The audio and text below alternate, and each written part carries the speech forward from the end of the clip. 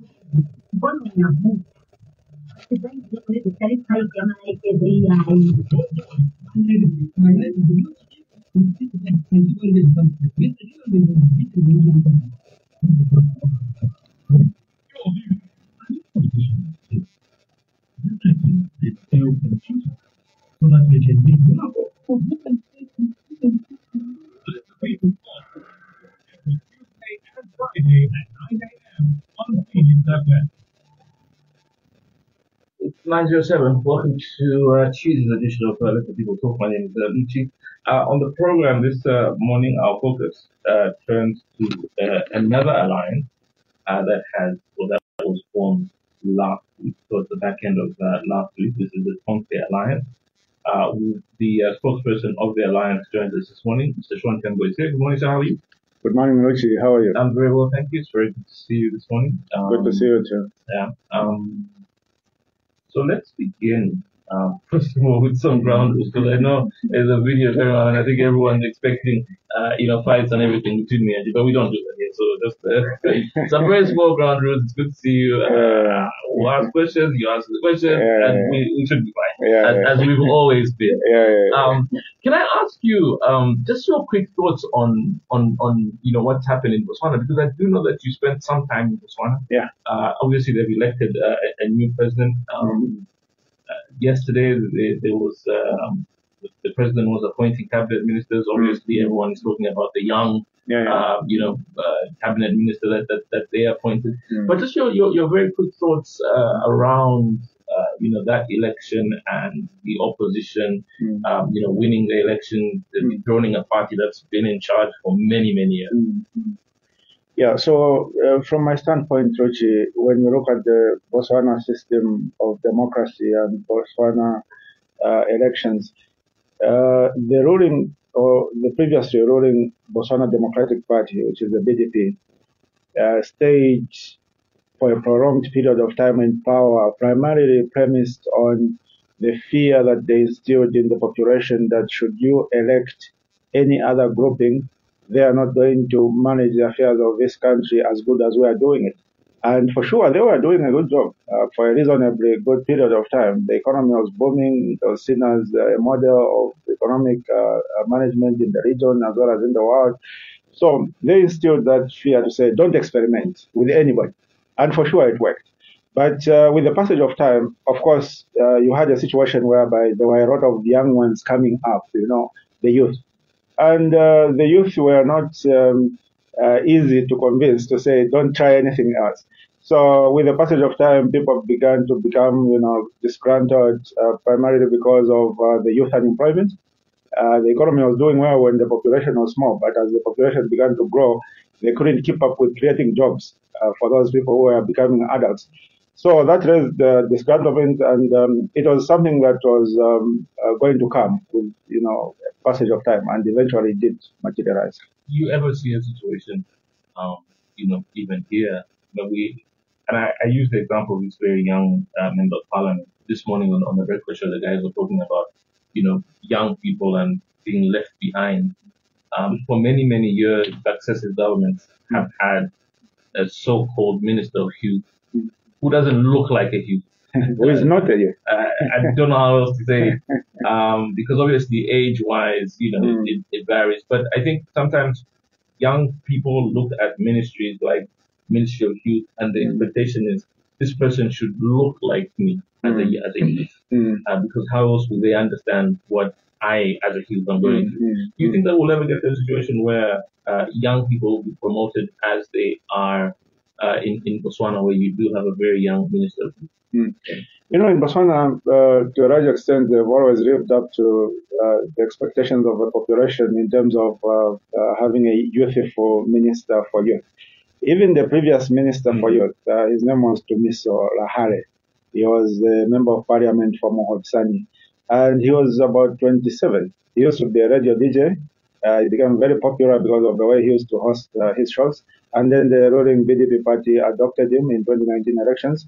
He won, and they appointed him as uh, Minister of uh, Youth. So, um, for us, you know, we seem to have a bit of a challenge in the sense that uh, we, we, our democracy doesn't have um, a genuine appetite to embrace the youth, uh, to you know fully participate in uh, the electoral process of the country, other than to use the youth to cause mayhem and to you know perpetrate acts of violence, to denounce elderly people. You know, um, we have never fully integrated the youth in our democratic dispensation, and I think it is time we did that. You know, not only as cadres, but as as leaders. We need to begin to groom them as the next generation to run this country, and uh, we need to take that direction, in my view. Um, so the last time you were here, um, you were still, a, I and I, was trying to go back in time just to just to have a listen back. But at the time when we last spoke, I believe you were still a member of of, of UKA, Yes. the United Front Alliance. Yes. Um, obviously, you know, stuff happened then, and now you formed this alliance. But I do want to take you back to like, Yeah. because I think it's important that people try and understand, Yes. uh, you know, what's what's happened and, and the lay of the land at the moment. Indeed. Indeed. So, uh, do you just want to, are, you- are you allowed to tell people, are you allowed to tell us all what transpired that led you and others, because you weren't the only one, and others, to opt out of? Um, I think it was an issue of a fundamental disagreement in the strategic approach that the alliance should take, uh, principally uh, with regard to the issue of at what point do we pick our presidential candidate in the alliance. Uh, there were some of us and uh, uh, my colleagues who ended up leaving, uh, who felt that we needed to do that as a matter of agency because we felt that the presidential candidate needed a lot of time to be able to campaign and people to know that person and so on and so forth. Uh, and then there was another grouping, uh, which is largely uh, our brothers and sisters who remained in UKA, who felt that um, there was no hurry to pick a presidential candidate, and that uh, a presidential candidate could be picked even on the day of nomination. And uh, we primarily disagreed on that. Uh, of course, there were other, you know, small issues here and there, but that was the elephant in the room. And um, for me personally, Rochi, uh, I want to tell you that um, uh, at that particular time, it wasn't a question of who we should pick. And I would have been comfortable, uh, any person that the alliance, uh, that UKA would have picked while I was, I was there. And I would have rallied behind that person. I would have gone out of my way to market that candidate. Um, so it was principally the issue of at what point. Because, uh, you know, when you look at our major competitor, which is the ruling party, they already have their candidate for 2026. So why should we unveil our candidate on the day of nomination? To me, it didn't make sense. And you know, when you belong to these alliances, uh, people might not realize it, but you make a lot of sacrifices because you are essentially saying, look, I'm not going to be on the ballot myself, and I'll back whoever is going to be on the ballot. That is a big sacrifice because we all know in Zambian politics that um, if you feature on the ballot, uh, your your you know your reach and your support base tends to grow with the passage of time as long as you are featuring on the ballot. And if you take an absence from the ballot, then it hinders your uh, political journey to a large extent. So when you make a decision to um, absent yourself from the presidential ballot, it has to be uh, based on something sound, uh, something that you strongly believe in, something that you know will materialize or has a high chance of materializing. The way I strongly believe that the Tonse Alliance will prevail in 2026 and that it has a lot of potential to form government post 2026. Okay, so you don't have to deal with the elephant in the room, but I do want to take it back aside. Yeah. So um, I had uh, a member of of, of UKA a couple of weeks ago, Mm. um, and in in our conversation, there's something that he said that struck me, Mm. uh, and this was this. He seemed to have this uh, saying that um, they were members of the alliance, the previous alliance that you were a member of. They were members of the alliance who were trying to crown somebody, Mm. and yet uh, there was no discussion. So I just want to, I just want to understand whether that's the case. And then when we fast forward to, to the Tonse Alliance and your very quick uh, decision to uh, anoint somebody as the leader, whether that's, that's true, that uh, they seem to have been this, I'm already crowned as without a conversation existing. Well, you know, in, in UKA, I don't want to dwell so much Yeah, on no, UKA, but um, uh, in UKA, uh, we never got to reach a point where we said who should be the candidate and then to subject it to a vote. We never got to reach that point. So our conversation regarding the issue of uh, the alliance presidential candidate ended at the point of at which point do we pick our candidate? You understand? It never went further than that. Uh, uh, there might have been, um, you know, uh, perceptions uh, among the people to say, okay, there's some shadow boxing going on. Uh, who are the people interested? Um, me, when I went into UKA, I made it very clear to say uh, I'm willing to back anyone who is willing to stand. so, to me, those are perceptions. to say uh, there was an issue of uh, infighting in terms of who should be the candidate because we never had the discussion. If that discussion was going on, it was going on in the minds of the people, not not like explicit. Yes. Okay. So then, uh, when you hear now, this is the very last question. This is the last time I'm going to mention Ukaband, okay? but when you hear, um, you know, ever since the Tonse Alliance was formed, mm. um, there've been some whispers. Uh, yesterday, I think it was uh, one of the members of the Patriotic Front who said that they're still working together with UKA. Mm. Just just clarify that for us, uh, because I think maybe that's a bit confusing now for people. That mm. there are two alliances, and one party is saying that we are still working with, uh, you know, the previous alliance. What, what's the situation? So, Luchi, um, that is very correct, actually. Uh, as Tom said, we see UKA as our brothers and sisters. That is the reason why you've noticed that um, despite uh, some of the remarks, uh, not so good remarks that our brothers and sisters might have been firing on the Tonse Alliance, uh, we have not responded. Uh, to the contrary, we've told our brothers and sisters to say, look, if we have offended you in any way in the past, we apologize for that.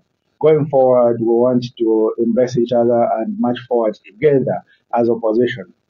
That is primarily for two reasons. Number one, the battle that we have as Tonse is with the ruling UPND party. We don't have any fight with any of our fellow opposition. That is number one. Number two, in order to remove the UPND from office, we strongly believe that we need to rally together as opposition. And that is the expectation of the Zambian people. They want a united opposition. And a united opposition cannot happen if uh, every time Sean Tembo is on radio, is disparaging uh, UKA or disparaging the People's Pact or disparaging that one. Similarly, uh, opposition unity cannot happen if when UKA uh, spokesperson or UKA member on radio they are disparaging Tonse Alliance, disparaging Tembo. Um, that is not appropriate. So for us, we want to take the lead to ensure that we have cordial relations. We might not um, come together uh, and, and, and become one alliance at some point, but at the least we need to have very cordial relations. We need to be able to hold hands as brothers and sisters in the opposition. So that is what we are working towards. And we are taking the first step in that direction. Okay. So, um, do you want to also let us know why it is that you decided on former president as your candidate? Like this was a very quick decision. It was almost yes. like alliance announced, mm-hmm. and here's the candidate. Yeah, so it almost felt like there was no room for negotiation debate amongst yourself? No, there was. Um, uh, uh, two issues. Uh, first of all, why the speed? Yeah. Um, you know, we strongly felt that when you create an alliance, that is a new child. And uh, this new child, it needs to uh, have a face and have a name. Otherwise, it will be very difficult to market the alliance without the alliance having a head. And that head should be the 2026 presidential candidate. You understand? Who is uh, no, no other than uh, Dr. Edgar Chagwa Lungu, you know, the 60th Republican president and soon to be 8th Republican president. Um, so, so we took that step in order to ensure that as we go about marketing this new baby, the alliance, it should have a face, and it has a face, and it becomes easier to market it because everybody knows, oh, who is leading the alliance? It's it, Dr. Edgar Chagwa His Excellency, you know.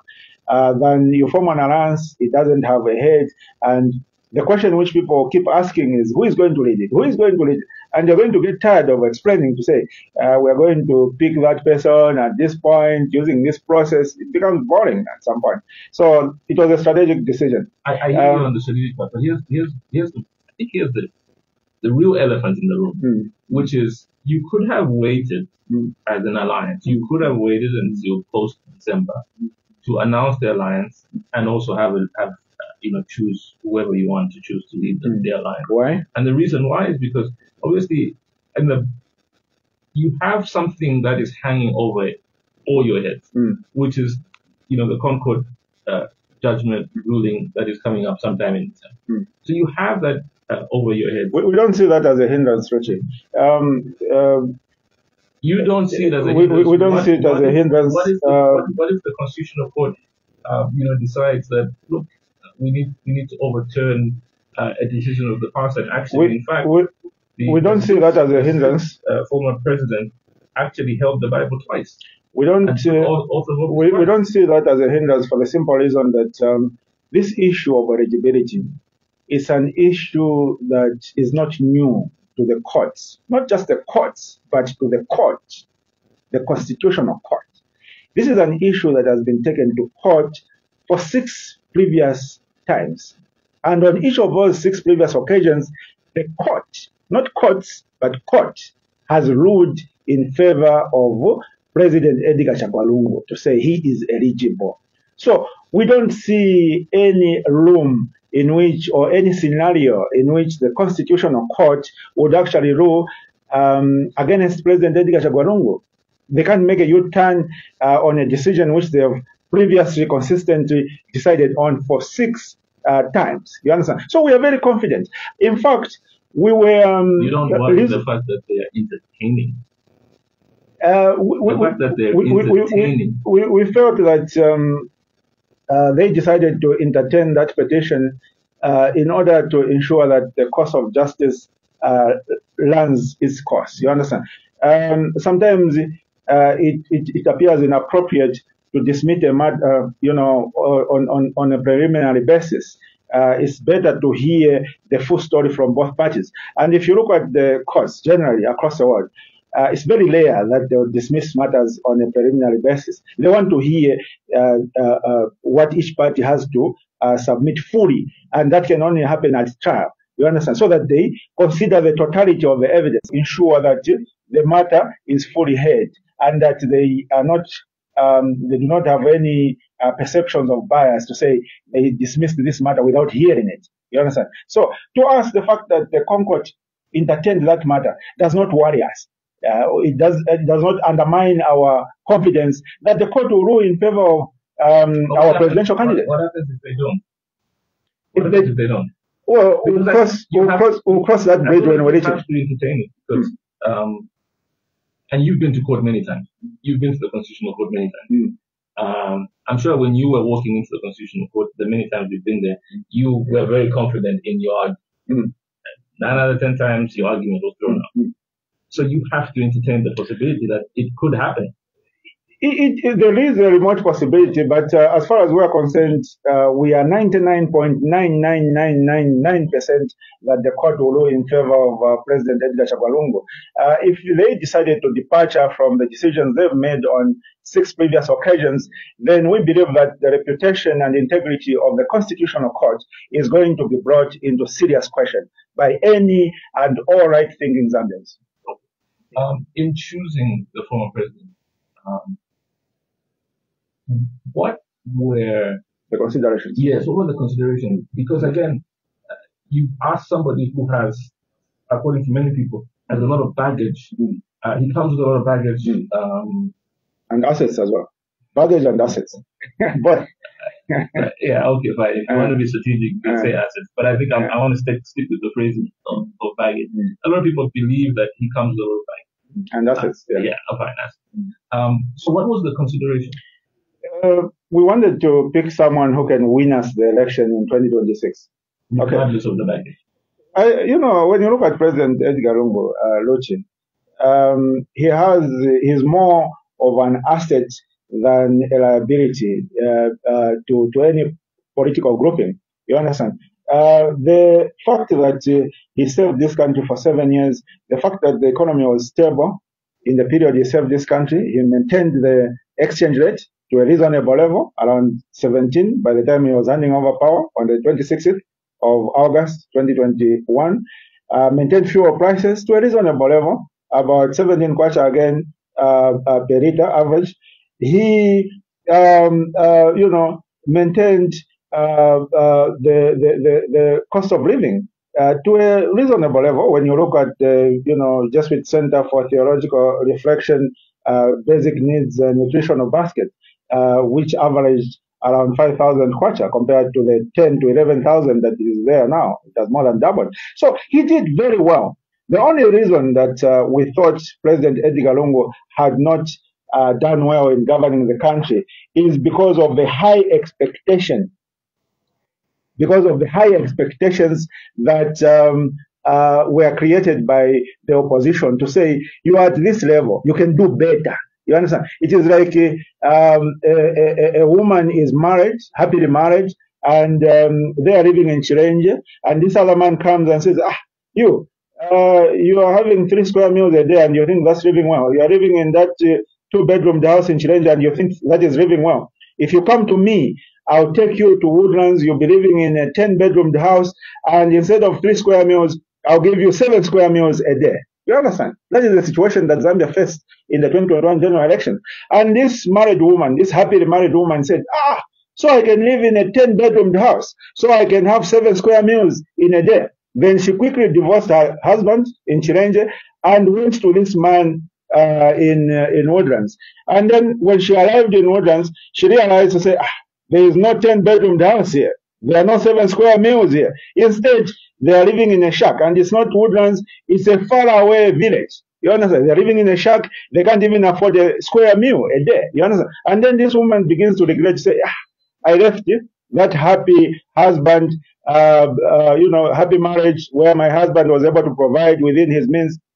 That is the situation. So that woman now is thinking of going back to her husband in Chilenje. And the husband in Chilenje is Dr. Edgar Chagwa Lungu. This boyfriend who took away this happily married woman to a shack to start only having a meal once in two days is the, current president. Uh, Dr. Harry So there's no question that the woman is decided now. He knows that this man who stole her away from her happy uh, marriage uh, cannot sustain his promises. So she's ready to go back to the husband in Chilenje.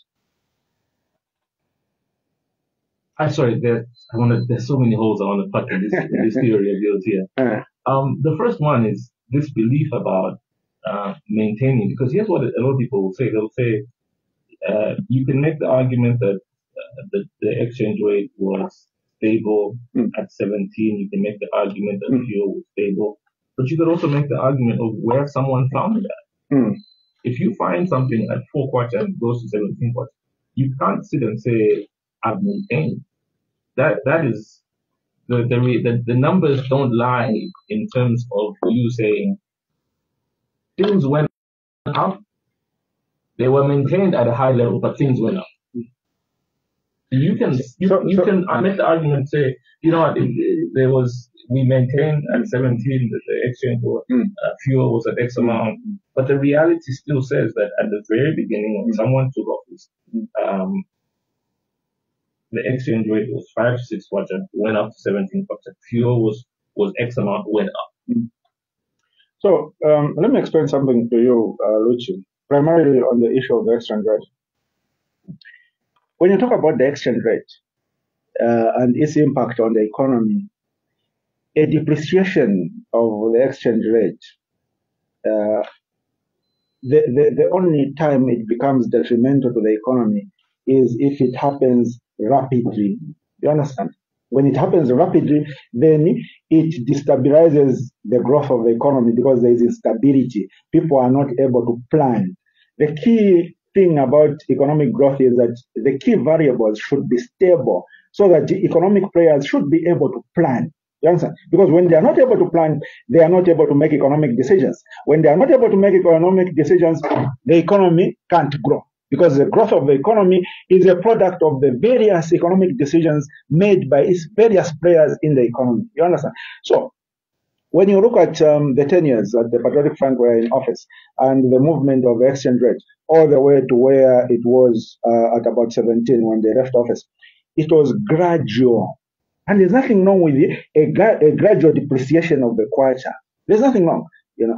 Uh, the depreciation of the kwacha only becomes a problem when it is rapid. Now, when you look at um, the way the kwacha depreciated uh, in the two years, actually, after uh, President Hakainde Hichilema went into office. From that 17, it went all the way to 26. You understand? That was too rapid for that short period of time. And that is what causes economic instability. You understand? So that is my bone of contention to say That was mismanagement of the economy. The other aspect, Ruchi, which uh, President Hakainde Hichilema used to talk very much about, very passionately about when he was in opposition, is the issue of uh, the crowding out of uh, the private sector. He used to talk about that very passionately.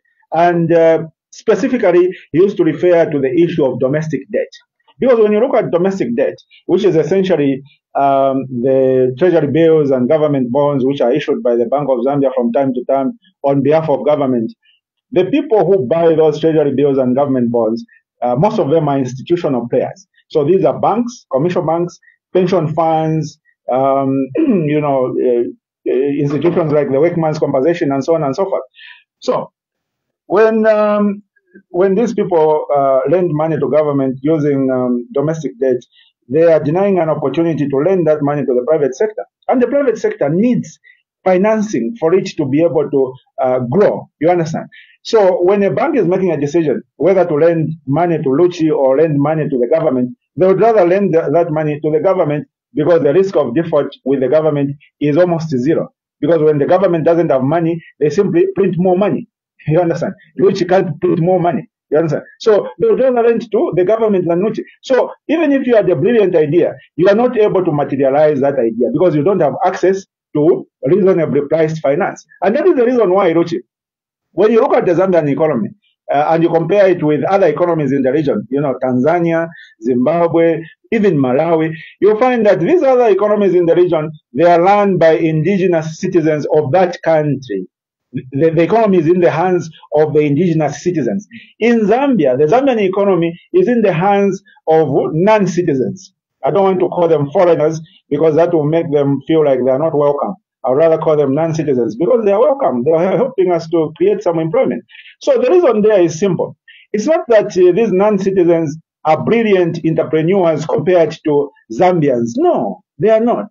The only issue is that these non-citizens are able to come to Zambia with their own um, money, uh, which they would have sourced from their countries at a reasonable rate. So they come to Zambia, and whichever sector they invest in, whether it's real estate, um, whether it is retailing, whether it is wholesaling, whether it is manufacturing, they are able to thrive because they don't have competition, because the Zambians who have the ideas don't have the money. And when they go to the bank, they can't access money. And all that is because of the government's appetite to borrow from the economy using domestic debt. Now, when you look at that issue of domestic debt, the Patriotic Front government, when they came into office, they found domestic debt at about 38 billion kwacha. And they borrowed approximately 40 billion kwacha and uh, left domestic debt at about 78 billion kwacha. Those statistics are readily available on the Bank of Zambia website. When the UPND came, so you are comparing 40 billion over 10 years, and then the UPND came and drove domestic debt from 78 billion kwacha on the 21st, uh, on the 20, 26th of August 2021 to 232 billion kwacha at the present. If you go to the Bank of Zambia website, you'll see that our domestic debt is now about 232 billion. So you're looking at a total borrowing of more than 160 billion kwacha over a period of three years. You are literally wiping out all the available liquidity from the economy. And uh, that is why when you go anywhere around, uh, the common theme people are saying um, mulibe ndalama mu economy, uh, ndalama za vote. Why? Because the government has borrowed all that money. And then the other question that arises is, what has government done with this money? What have they done with it? Under the Patriotic Front, we saw that they would put up some infrastructure. Lusaka changed, basically, uh, the face of Lusaka changed. Great East Road became six lanes. You know, we had these flyover bridges, which uh, President Hakainde Hichilema was condemning as uh, speed bumps. Yeah, I did also condemn, but my, my condemnation. Your, your, condemnation, if I remember properly, was that um, we've borrowed, uh, we've built infrastructure, but we don't know how we're going to pay for Yeah, but in terms of infrastructure. And, here we are, the chickens have come home to roost. Yeah. Uh, so in, in all of that, and, and just, just to go back to my yeah, sure. question, mm. in all of that, I think the question that a lot of Zambians have is, why would you go and pick this particular person mm um, you know, the former president, mm-hmm. as your candidate with all of that background. Mm-hmm. That's the question I ask. So, Luchi, a person who borrowed 40 billion and uh, was able to establish visible infrastructure is better on any day of the week is better than a person who borrows 160 billion with nothing visible that they've done with it. On any day of the week, they are better. So, on any day of the week, the 60th Republican president, Dr. Edgar Chagwa Lungu, who is soon going to be the eighth Republican president of this beautiful country, is better in terms of competence, in terms of performance, than the current Republican president, Dr. Hakainde Hichilema, who will soon, in my view, be retired in the national interest. Yes. So here's a question from Christopher. Christopher says, please ask him, what has changed now when a few months ago he was disparaging uh, the former president, saying there's nothing he can do now, which he didn't do in seven years. He was now he's the greatest cheerleader president. Yeah. So when you look at uh, the performance of uh, Dr. Edgar Chagwa Lungu, we are not saying that it was perfect performance. You understand? It wasn't perfect. It wasn't perfect. There were a number of areas that uh, were not properly done. You understand? And uh, the issue of uh, is one of those areas. And uh, President uh, Edgar Lungu has since come out uh, very openly and apologized to the Zambian people that he didn't do a good job ensuring uh, order with regard to the youth that the party had, the cadres. And uh, he has since assured the nation to say, when he is given the second mandate, he will ensure that the issue of cadreism is not there anymore. He will ensure that it is totally eradicated. And on top of that, he will continue with the uh, good economic policies that he was implementing, the good agricultural policies, like distributing six bags of uh, fertilizer compared to the uh, uh, sharing of a bag, which is currently being done under the current administration. So we are not saying that Dr. Edgar Chagwa Lungu was a perfect president. Far from it, he wasn't. But he was a better president and he's willing and able to use his experience and the wisdom he gathered from that experience to ensure that when he comes back, he'll be a more refined and better president and he'll be surrounded by people like myself and other new entrants who will ensure that we contribute to making him a better president. Tell me, what, what, what gives you the confidence? That he's coming back. No, no, no. No, no, no, no, not mm. he's coming. What gives you the confidence that someone has changed? And, and I ask the question really just because leopards don't change this. Yes. You know, uh, Luchi, uh, Dr. Edgar Chagwa doesn't need to change. He just needs to refine uh, himself more. You understand? He doesn't need to change because even when he was there, the economy was doing well. Even when he was there, the agriculture sector uh, used to record bumper harvest. Uh, even when he was there, there was a semblance of justice under the judiciary. You understand? So he doesn't need to change, like make a U-turn. We are not saying he needs to make a U-turn because he was a good president. He just needs to become a better president under his second term. And that will happen with the addition of new faces as well as tapping on his experience uh, during the seven-year period that he ran, uh, you know, the affairs of this country. So we are not talking about a U-turn. we are talking about him refining himself. Sorry, I just want, to, just wanted, I just want the two things that you mentioned. So mm. you mentioned judiciary uh, we've seen in the past couple of weeks now the JCC um, put out a recommendation that judges who handled particular cases uh, handled them very poorly. Um, I wonder what that speaks to when you say that uh, the judiciary was performing particularly well. The, the JCC is the one which is biased. You speak about the economy, you speak about how uh, the economy was in a good standing then. Mm. I don't just need the numbers to prove you wrong. Mm all I need is to remind you that I used to sit here and I used to speak to those of you who were in opposition. I used mm. to speak to um, those who were in leadership, and I used to say the same thing to them. The economy is in a bad state. People can't afford food. That was then. I'm not saying things have changed to the better now in terms of the economy, but I'm just trying to remind you that things were bad then. But you, when you compare to now, then I don't need a comparison. Then no, you know Luchi, Luchi, things, look. things were bad then, and I think I think it's important that. Uh, if I may answer, Luchi. People, no, hold on, hold on. Mm. I'll let you answer. Don't worry. Mm. I think as a people, mm. we we need to be honest. Mm.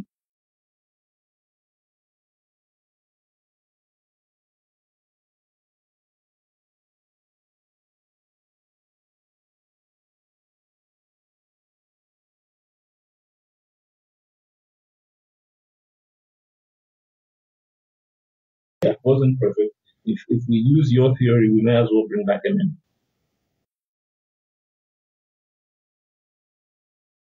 Yeah. Let me answer your question. You're saying there were people who were hungry under the uh, uh, previous regime, under President Edgar Chagwa-Lungu's uh, you know, administration. You know, at any given time, and wherever you go in the world, there will always be people who are going to bed hungry without food. Even in America, you'll find that there are 2 million homeless people. You understand? So the fact that there are some people who are going to bed hungry uh, is not a measure of the performance of the economy by itself. What you need to do is compare the number of people going to bed hungry. You understand? And when you look at the figures, when you look at the statistics, even the statistics in terms of the number of Zambians living below the poverty datum line, you find that under the uh, uh, ECL's administration, that figure was around 60%. You understand? Right now, that figure is above 70%. Those are statistics. Those are facts. So there are more people going to bed hungry now under the uh, Hakainde Hichilema administration than they were under the Edgar Lungu administration. It's a fact. Also, when you talk about the cost of living, we don't have a very reliable, you know, uh, uh, like uh, up-to-date system of measuring that, other than uh, what is published by the Jesuit Center for Theological Reflection. I'm sure you, ag- um, you agree with me. Uh, the basic nutritional needs basket for a family of six in Lusaka. And when you look at that measure, that is objective data. It is not subjective data. It is not my opinion or your opinion. That is objective data published by a third party. You'll find that uh, under the Edgar Lungu administration, the cost of living for the 10 years that they were in office, the cost of living moved from about 3,000 kwacha to about 5,000 kwacha over a period of 10 years. Under the Hakainde Hichilema administration, the cost of living moved from about 5,000 kwacha to almost 11,000 kwacha at the moment. That is more than double in three years. So, Luchi, on any day of the week, the Edgar Lungu administration was better in terms of economic performance than the Hakainde Hichilema administration. And the, the data speaks for itself. Here's a question from somebody who says, um, kindly remind Sean how PF cadres almost killed him. Uh, the president says he's coming to protect the family. How does that benefit the nation? He's basically coming in for revenge you know, uh, the issue of cadreism has always been there. Uh, it was there under the PF administration. It is there now under the UPND administration. To me, what is important to me are the assurances uh, by the Edgar Lungu, um, by President Edgar Lungu, who is our candidate, uh, that the issue of cadreism will not see uh, its uh, under the new administration it will be a thing of the past. That assurance to me is good enough. Under the current administration, uh, we have cadres who are in police uniforms and who are being paid by the Zambian people, the taxpayers. Um, we have uh, police cadres who are able to go to the Cathedral of the Child Jesus and prevent the Archbishop from accessing his own premises, laughing him up, holding him in his robes. We've never seen that before in the history of Zambia.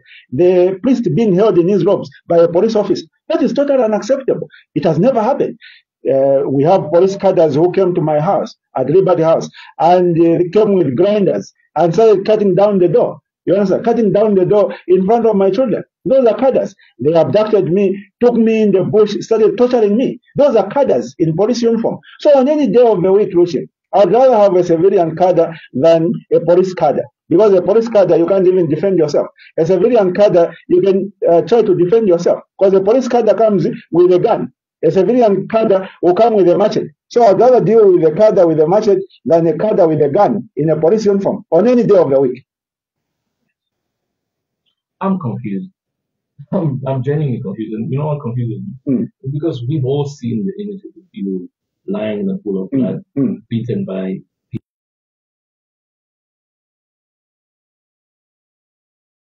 rather, I find it something yes. that you would sit here today and sort of defend that and say, I'd rather have that. Luchi, I'm not defending that. I'm not defending find, that. That was wrong. There's no question about it. Yeah. That is wrong. And uh, if you say I'm defending that, then you are, like you, are, you, are, you are manipulating what I'm saying. It sounds like uh, I'm not defending that. That has been condemned. Even our presidential candidate for Tonse has condemned that.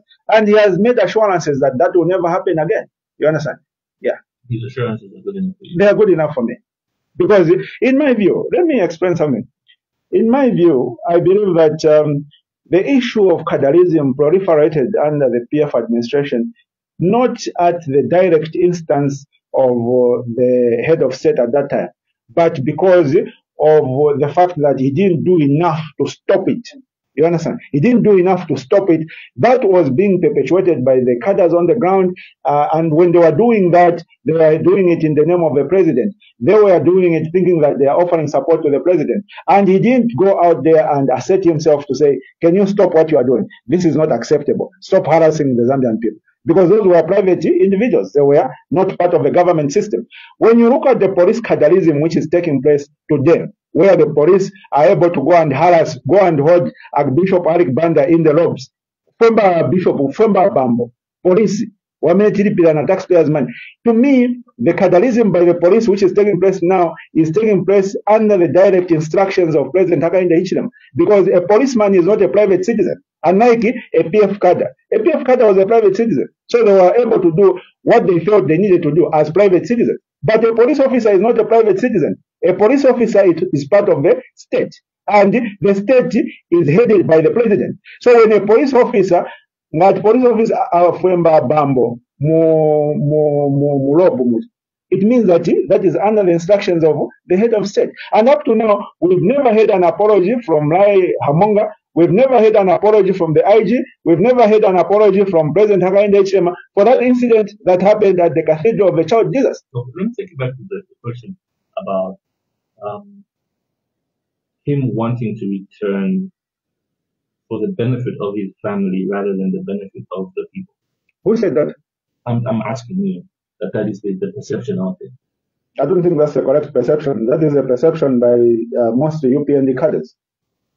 And, and they've got the right to form uh, uh, that negative perception because uh, they're trying to defend uh, their presidential candidate for 2026, who is uh, President Hakainde Hichilema. In, in, in newspaper uh, front pages, and I'm sure you saw it. Mm. You saw the first front. I think uh, if you're referring to the news diggers um, uh, front page, you are misinterpreting what what was said there, what was written. Uh, you have it. I don't have it. Uh, so, so in that, what, what yes, yes. So, um, if you look at even how news diggers captured that, they said very clearly, they said, we want to come back so that Naifetule Kutako. You understand? Because we are hungry. Not only are the average Zambians hungry, but even uh, uh, us, the leaders, we are hungry. So we want to come back so that we can improve the economy. Naifetule Yatule Kutako. That is what the president said. It had nothing to do with the fact that um, most of his family members seem to be caught up in corruption cases. Well, you are you that to me that would be um, you know your your imagination. You know, you're imagining to say it, it probably meant this. But uh, if you look at the words that was exactly. let me rephrase the question. Uh, let me rephrase. Mm. A number of his family members seem to be caught up in corruption. His wife has had her property confiscated by the state. Mm. His children have had a number of their own property or property that is reasonably suspected to proceed with crime. Um, and then now you have somebody who says, I want to come back. The assumption so, from, from the whole mm-hmm. the assumption from Zambians mm-hmm. is that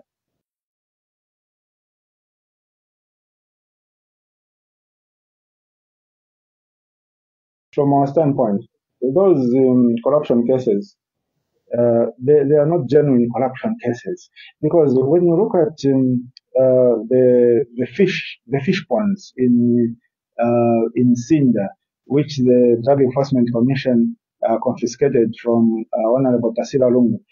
Those fish ponds, which pictures are there, uh, some of them about uh, there were about eight, uh, and only about three of them had a tent inside. They were unused.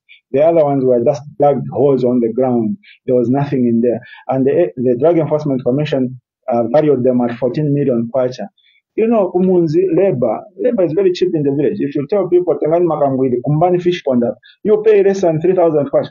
Because Mzambo walipira ma 10 kwacha, 10 kwacha for a day's work. You understand? So, for the SEC, or is it the Drug Enforcement Commission, to value migodi zijazenze kusinda at 14 million, to me that is being disingenuous, and that is why all these law enforcement agencies are not professional they are aligned to the ruling party. And that is why, you know, as a nation, we can't make much progress because at any given time, we've got very few professional, objective people. And when there's a change of government, you find that there's a need then to literally sweep out everybody because they were not professional. If people were professional, if people were doing their jobs objectively, and uh, there was a change of government, there would be no need whatsoever to change those people. Look at Botswana. They changed government. Up to now in Botswana, President Duma Boko has maintained the same uh, commander of the Botswana Defense Force. Uh, sorry? Yeah, but here we change overnight. We change overnight. He has maintained that. He has maintained the. Uh, it's been two weeks, by the way. He has changed the. Uh, the he hasn't changed the commissioner of police. He has maintained everybody. You know why? Because those people were being professional and objective as they were doing their way. But here people, when they are in these positions, especially parastatals and these law enforcement uh, uh, agencies, whether it's Zambia Police, Drug Enforcement Commission, or Anti-Corruption Commission, instead of being professional and objective, instead of doing their job uh, to the expectations of the Zambian people, they want to do it to please the serving president for political reasons. We can't make progress as a nation Okay. when we have people of such mindset. Let me ask you a question. Yes. Auditor. That's that's your back your background. Yes. You're an auditor. So if I asked you to audit myself Hmm. and I told you that I earn let's yeah, I'll be like thirty five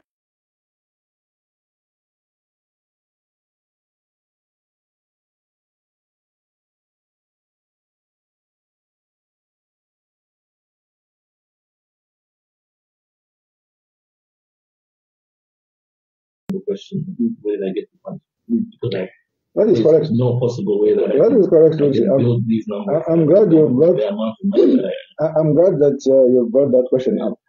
When you look, you know, I've studied all the uh, cases which are going through the so-called uh, economic and financial crimes courts, both at magistrate level and at high court level. And I've written an article to that effect. The fundamental flaw in the way those cases are being prosecuted, Luchi, is the fact that they are comparing the income which someone owed, uh, which which someone earned, okay, the income which they earned against the current market value of the property that they own.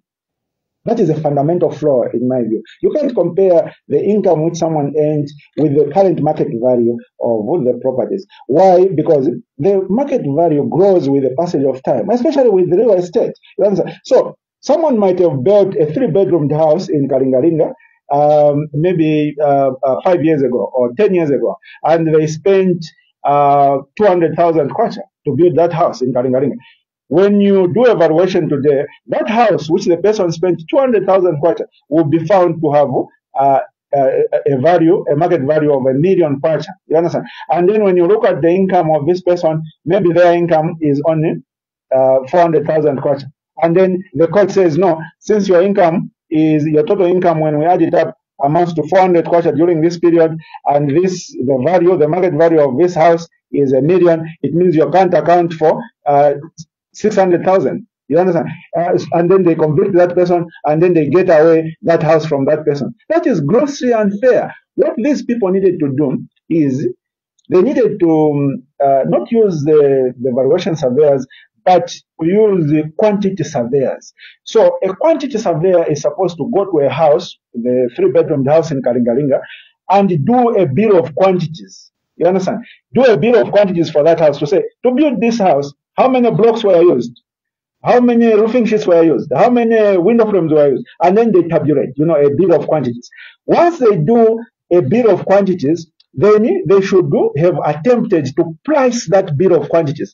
How do you price a bill of quantities? You look at the price index, you look at inflation. So if it is a block, you've calculated the number of blocks that took to build that house, right? Uh, let's say 4,000 blocks. Then you look at the price of blocks today. How much is it? It's 12 kwacha you go back, you you you you you, you discount it with the uh, annual inflation, average annual inflation. That information is available at Zambia uh, Statistics Agency. You discount that price from 12 to what it was or what it should have been in 2015. Then it gives you maybe four kwacha or three kwacha per block. You then multiply those 4,000 blocks by the three kwacha, which was the price in 2015. Then you come up with what the cost of building that three bedroom house was in 2015. So you find that the cost is 200,000. And then you can compare that cost of building that house in 2015 with what the income earned uh, by that person was uh, during that period, which was maybe 400,000. And then you realize that this person was able to afford to build that house. So that would be a fair way of prosecuting these uh, so-called corruption cases in these courts, the so-called economic and financial crimes courts, both at magistrate level as well as at high court level. But what is being done, and I believe that the judicial officers, Ruchi, who are handling these cases, they are not dull people. These are reasonably intelligent people, in my view. And the reason I don't understand why uh, they want to compare the uh, income that someone earned with the market value of the property. You can't control the market value. I can't control the market value. The market value is dependent on the current demand. So I hope I make sense, Richard. I hope I make sense. So in my view, these cases which are being prosecuted in these courts, it is being done on a not in an effort to fight corruption, but it is being done maliciously so that the, the government can get as much property from uh, former PF leaders and those people who support the PF as much property as possible. They want to get as much property from them as possible so that when we go to 2026, all the PF former members and current members all the supporters of the PF will be very broke, they'll have zero money, and then the only people who have money to campaign will be the UPND, who are able to form a company today, tomorrow they win a tender for 30 million cost. I'm going to take a break. Sure. Um, I'm going to take a break. We will be back after 10. I actually can't believe you sat there and, and, and spent two minutes. Uh, I actually thought what you would say is that What did you expect? So here's what I thought you would say. This is what I thought. I genuinely, I genuinely thought that you would say that I mean, the property, some of these properties, I think that's that was my expectation. Uche, Uche, let me tell you something.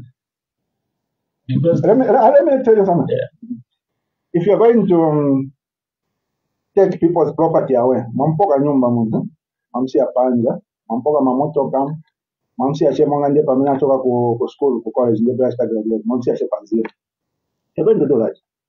And uh, if you're also, in addition to that, going to take that person, mampenga, mampega ku jail, the way GBM was uh, incarcerated, you give a person five years, mamlong. You can't do that on the basis of probability. At, at the reasonably expected to be uh, proceeds of crime. What happened to the provisions of the Constitution, which requires that it has to be beyond reasonable doubt? So, in my view, Ruchi, even that so-called forfeiture of uh, um, uh, uh, property uh, act is an unconstitutional act. You cannot the let me just finish. You cannot get people's property away. You cannot uh, send people to prison on the basis of suspicion. It has to be proven, a proven fact, something beyond reasonable doubt. That is what our constitution requires. So, um, uh, uh, not, the only reason, in my view, that um, you should not some of these yes, That is not that is there are some cases that do not need to be that but that's the constitution. there are some that don't need to. That is the constitution, Ruchi. Um, I And, believe and, you. and in you this case, in this case, just a minute, Ruchi. Just a minute. Let me make the, let Uh, me make the okay, go ahead, go ahead. Yeah. Um, what you have to do, if I am the economist and financial times and I say to you that I suspect that these properties, this car that you own, the one that's that's here for everyone to see, I think it's tainted by corruption. I don't think that you were able to afford purchasing that. All you have And to you do don't have evidence for all you have to do is tell me and show me that actually I've got the funds to do. That's it. So, Ruchi, That, that's all. Ruchi, Ruchi, And I think, uh, I let me address that. I think for many Zambians, I think this is this is let, let, let me address that. Let me address that. Two issues there. The first issue is uh, the so-called forfeiture of, cri- uh, of property uh, reasonably suspected to the Proceeds of Crime Act. The second issue is that you are pressing the burden of proof on me, the accused person, to prove that uh, my property uh, was uh, well earned. I worked for it. Those provisions which are in an act, subsidiary legislation, and I believe you have a reasonable understanding of the law. The requirement to say a person for the, that person to be convicted of a criminal offense it has to be proven beyond reasonable doubt, is in the Constitution. The second requirement that um, um, the burden of proof is on the accuser, not the accused, but the accuser is also in the constitution of Zambia. You understand? So you've got two provisions which are in the constitution of Zambia which protect me and the property I have. To say you cannot come to me and tell me uh, that I should adduce evidence to prove that my property is tainted. It is you who is accusing me that should adduce evidence that my property is tainted. That requirement is in the constitution. And then you have this subsidiary registration which says otherwise. Between the two, between the constitution and this subsidiary registration, which provisions should take precedence? Obviously, it's the constitution because the constitution is above any subsidiary registration, any other act of parliament. The constitution is above. That is why I told you at the beginning that, in my view, these laws which the Economic and Financial Crimes Court are using, those laws are unconstitutional. Specifically, the forfeiture of uh, property suspected to be proceeds of crime, because that law forfeits property on the basis of mere suspicion. It does not meet the constitutional requirement of proof beyond reasonable doubt. So I can come to you, Ruchi, and say, I come to your house and say, uh, this fridge, Ruchi, uh, I think uh, you can't afford it. Then I take it away from you. Meanwhile, you wait for it. Is that fair? So my view, Ruchi, in, in conclusion, my view, let me just finish. Let me finish. My view, is that as a nation, we are going to make progress. As a nation, we need to develop a sense of fairness among ourselves. You know, we are one people. We are all Zambians. We need to have a sense of fairness. When something that is unfair is happening to you, even if it is not affecting me as Sean Tembo, I should be able to stand up and say, ah, ah, ah guys, wait a minute. What you are doing to Ruchi is unfair. It is wrong. We need to develop that culture. Because without that, Ruchi, we are headed for doom as a nation. We are going to keep on fighting one another for no good reason. We are going to keep changing governments and continue fighting one another and continue sending each other to prison for no good reason. 50 years or 100 years from now, our economy will be nowhere. Our levels of poverty will be very high. Meanwhile, we'll keep admiring our friends in other countries, Zimbabwe, Botswana, Namibia, and say they are doing well, and yet we are not. Why? Because we don't have the right values as citizens. Let us develop the right values in order to develop this country. Isn't a value accountability? Accountability is a value, and so is fairness. And, and, and, that's even fairness. And so is fairness. And that's why I, I sit here and I yeah. say that if Mr. Sean Tembo comes to me and says, uh, this phone that you bought, I suspect you can afford it. Pretty basic. I just need to be able to show that I, I, I But that is unconstitutional.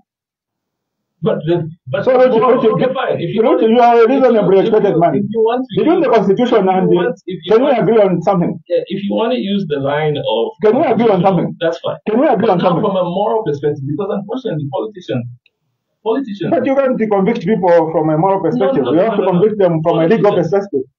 And in the public, in the public court of opinion, unfortunately, it's all about morals here. It's not about whether it's uh, okay. which, which, which, which part of the which law takes supremacy over the other. In the public court of opinion, it's very basic here. I'll answer you the question. This flask that you own, did you, did you were you able to afford it? Yes or no? Just show me that you are, you are able to afford it. End of story. So, Ruchi, um, uh, sorry, I know you are the interviewer and I'm not supposed to ask you a question, but um, do you agree that uh, the Constitution is supreme uh, over any other subsidiary yes. legislation? Yes. Are you aware that uh, the Constitution places the burden of proof on the accuser and not the accused? Are you aware? You are aware? Are you aware also that the Constitution requires that before a person can be convicted of a criminal offense, um, uh, there has to be uh, evidence adduced beyond uh, reasonable doubt. Yes, yes. With civil cases, it's a matter of uh, balance of probabilities. But for a criminal offense, thank it has to be. Thank you for saying. Yes. Thank you for saying this. For, for, for, criminal cases, it has to be beyond reasonable doubt. In other words, you don't need to doubt that this person. In a criminal. Yes, criminal offense. So, if you agree with me uh, on that basis, uh, then why should we have people's property taken on them on the basis of mere suspicion? Then why should we also let me let me finish. Yeah. Let's let's not uh, have a tug of war. Why should it be necessary to take away people's property, uh, former PF members and former supporters of PF? Why should it be necessary to take away their property on the basis of mere suspicion? As opposed, let me finish, Luchi. Let me finish. Let me finish, then you're coming. Eh? I'm saying I'm whispering here. Let's not do a, a, a custom. a, a No. cluster here. Yeah, yeah. So um, uh, I was uh, recalling my, my, my, my, my position again. If the Constitution clearly says, eh, Constitution, supreme law of the land, above any other legislation, you know, uh, subsidiary legislation, clearly says that um, uh, the burden of proof is on the accuser, not the accused. If I accuse you, I should prove that you committed that offense. That's the constitution of Zambia. Okay. Look, again, you are doing a cost on me. Eh, That's the constitution. The same constitution which uh, also clearly says that uh, for a person to be convicted of a criminal offense, it has to be beyond reasonable doubt. If the constitution says that, and the constitution is superior to any other law, then why should the people, why should people, specifically PF supporters, PF members, and anyone affiliated to the PF, why should they be convicted on the basis of mere suspicion? Eh? Mere suspicion. You get their property away at um, at property uh, suspected to be proceeds of crime. Suspicion. Me, I can suspect anything. Does that warrant uh, for that person's property to be taken away? Equally, why should people be incarcerated? Right now, we have GBM who is incarcerated. He's an old man. He's incarcerated at Mwembeshi prison. On what basis? On the basis of mere suspicion, according to uh, that forfeiture of uh, proceeds of suspected crime. And also because the, the, the prosecution placed the burden um, of proof on the accused. They told him, can you show us evidence that this property is not uh, tainted with crime? Instead of them proving that the property was tainted with the crime. You know, so we have a lot of unconstitutional activities taking place and um, on the basis of un- unconstitutional acts, you are sending people to prison, you are taking away their property. You know what we are doing? We are merely creating appetite for revenge should there be change of government, which is totally unnecessary because we are going to continue with this seesaw activity. Today these are being prosecuted. The other day these are being prosecuted. Meanwhile, as a nation, we are not making economic progress. We are not. We'll keep uh, stuck at one point. To whose benefit? So we need to change our mindset as Zambians. We need to change our values. We need to uh, develop a sense of fairness.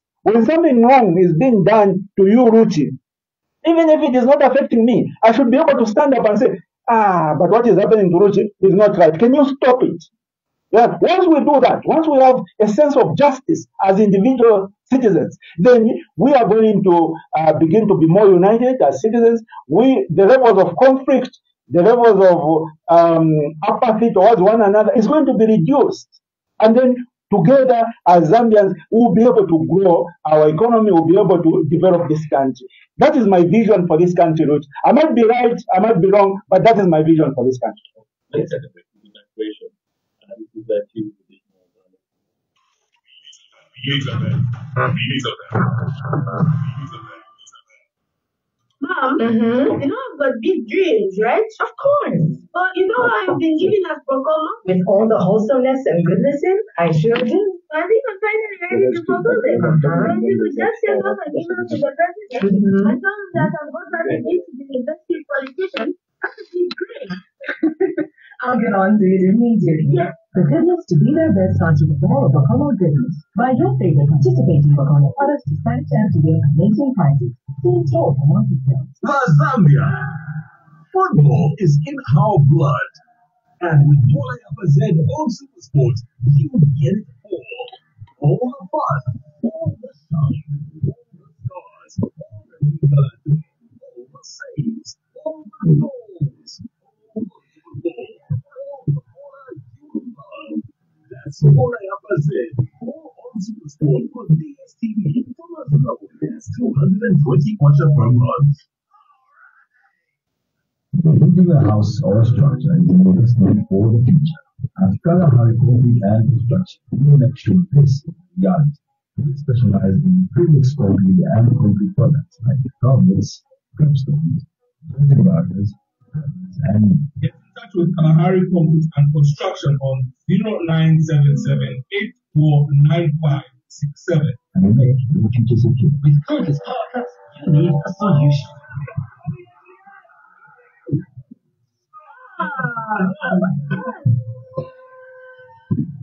Solar Let, solutions. let me go through your, Pioneer Solar Limited. We offer solar solutions, not just models. A well-designed solar electric system is much more than a pile of hardware. We are professional installers of solar home systems, solar water This systems, solar power system. Offers site survey, load analysis, system design, technical support long after warranties have expired, and end-user training. You for at house number 148 Zebra Street in Ghana East, at the corner of 22nd Avenue and Zebra Street. Lusaka, we are located in house number 7A, Ascend Road.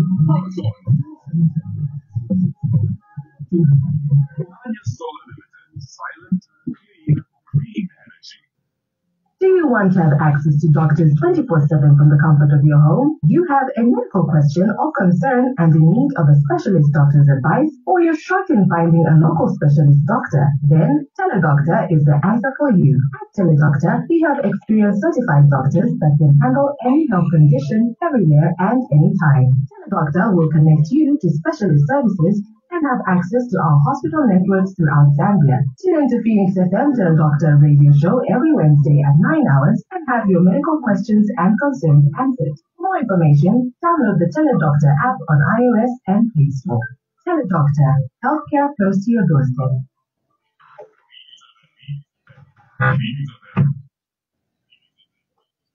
Uh, 1013, welcome back to the People Talk. If you want to get in touch, you can 226-841-097-8895-895. The spokesperson of uh, the uh, Tonse Alliance uh, is here with us this uh, morning. Um, here, uh, two text messages and I'll it on. Um, this is from Edward. Edward says, please ask uh, Comrade Sean what team, if they are considering it, are they assembling to help uh, the former president during and post-election 2026, essentially to give genuine credence and take into consideration the views and concerns of the objective bystander as to what ECL and team is bringing on the table of good governance, constitutionalism, accountability, and sustainable leadership. That's from um, Edward. Uh, do you want me to read it? Ah, it's okay. Okay. Okay. Um, someone else called Eddie says the provision to pass subsidiary laws. Okay, this, this comes back to uh, one of the conversations that we're having, but let me read it. The provisions to pass subsidiary laws also lies in the Constitution. Mr. Sean uh, Tembo is not a lawyer. His views will be taken as common sense arguments based on pedestrian reasoning, according to the Attorney General. Um, your guest keeps saying it's unconstitutional, but he forgets that when one was or is in public office, it's mandatory for them to explain their sudden source of wealth. That's from calling this. But let me also from my uh, hello, good morning. Hello, good morning. Good morning, morning, morning. Okay, thank you. Just turn off your radio. Yeah, morning.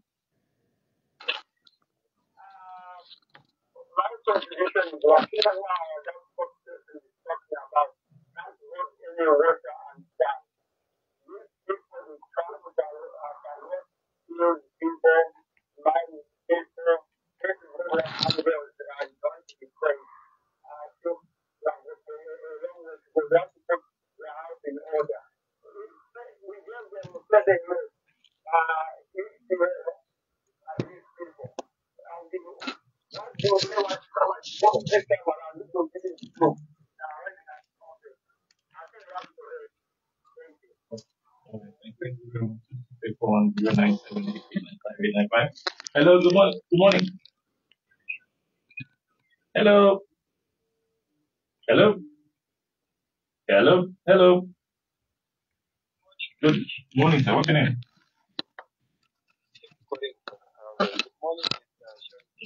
Good morning, sir. Yes. Uh, discussion table. I think he, the moderator there is asking you a question. Very good question. And you know, you are trying to justify, no, for me there is no merit there. Look, we have people, before they became politicians, these people could not afford a bicycle. You see? They went into government. These people now, they are telling us that just their perfume they can apply can pay rentals for other people. You see, they are telling us now that we have money. The question, me, a poor man from Kanyama, asking, where did this person get this money all a sudden? Where did this person get all this brain to make money? What is in government? What else he was in the private life? He could not use that brain to make that money. You see, I think for me, I'm very happy that I voted for this government. That we have, we have seen a lot of things. We have seen many people who was a councillor of Aruchi getting a 3,000. They have billions of watch. Where did they get this money? I think the issue of justifying, amen. If I touch him, I'm caught. Then I'm told, to go and justify how you got this phone. I should not struggle to tell the nation that this phone is a t-shirt, no. So for me, those who have stolen, even me, if I've stolen for my family, let me go and account. Sean Tembo should not come on the platform to defend me. I should defend myself. It's high time this country will get rid of these who go into government to go and steal from others. It depends when other people it instead of tropical. Yes. But others, they are from others. Yes.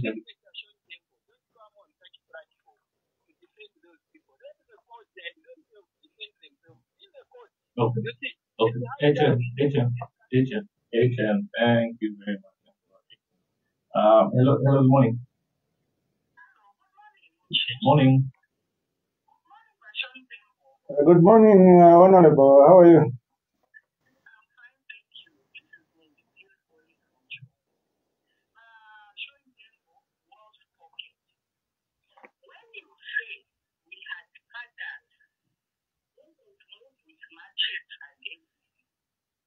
we are justifying that we are country compared to the car that we have in the police.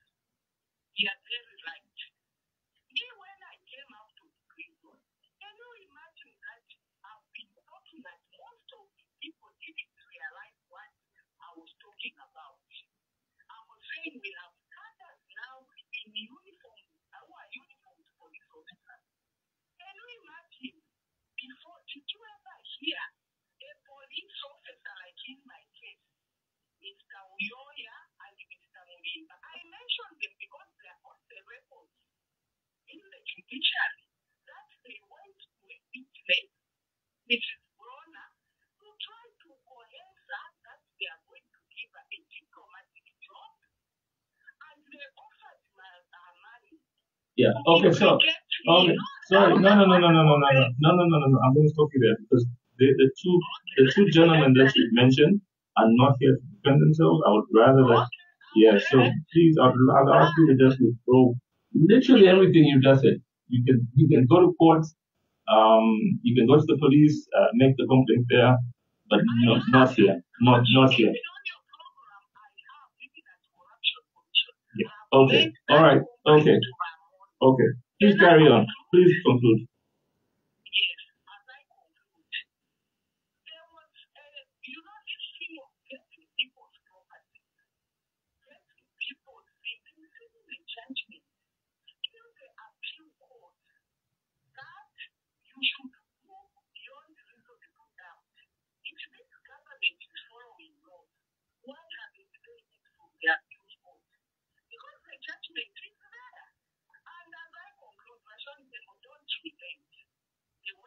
change and to the world. It started from Brazil, India, uh, they do we are waiting. Thank you. Um, thank you very much. 264 Let me add one last one. Hello, good morning. Good morning. Morning, sir. Morning. What's your name?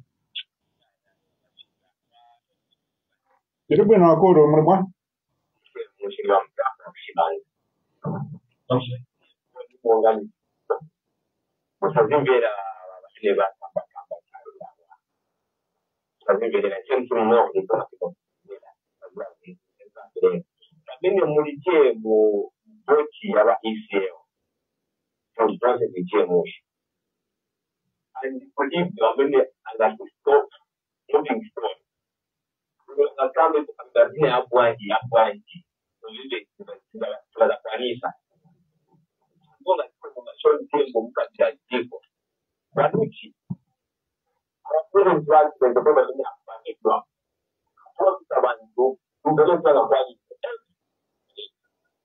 ambazo mchungaji kwa sababu tembo hili kifarasi ndio mwenye naye utakayekuwa ukiishi naye mbona wale wanaita wenzangu mbona wao muri wawe rero kwifuna kandi honest then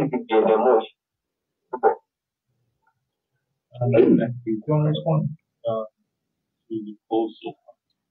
Yep. Um, I'll start with the text message from Mr. Edward, is it? Uh, he was asking to say, uh, how will the ECL team, cabinet team look like um, post 2026 when he comes back into office? Um, I want to mention, Lucy, that um, uh, we are going to have a cabinet team that is going to be a fusion of uh, some of the experienced ministers as well as uh, a collection of new uh, ministers so that we have a perfect team, you know, taking advantage of experience as well as new ideas in managing the affairs of the country. Um, that is that is what uh, uh, we have in terms of our vision as us uh, in terms of post 2026.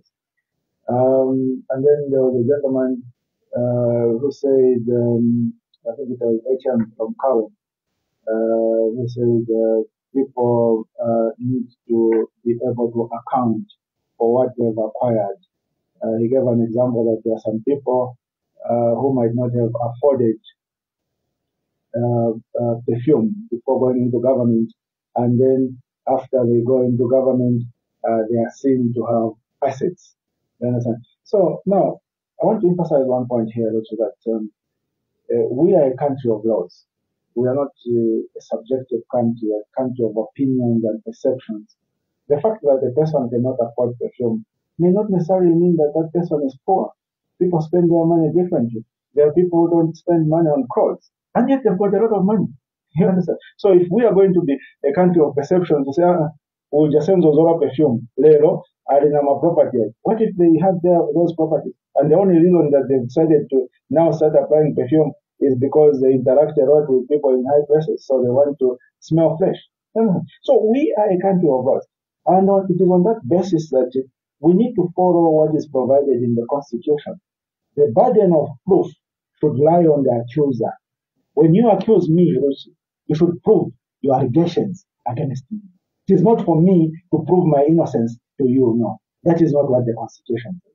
And what is being done at the moment with regard to the economic and financial crimes courts, both at magistrate and uh, at high court level, is completely unconstitutional. And in my view, it is victimization, you know, perpetrated victimization, which has been well designed by uh, the current uh, government to ensure that all the supporters, members, and former uh, ministers are deprived of their property and are sent to prison for no good reason.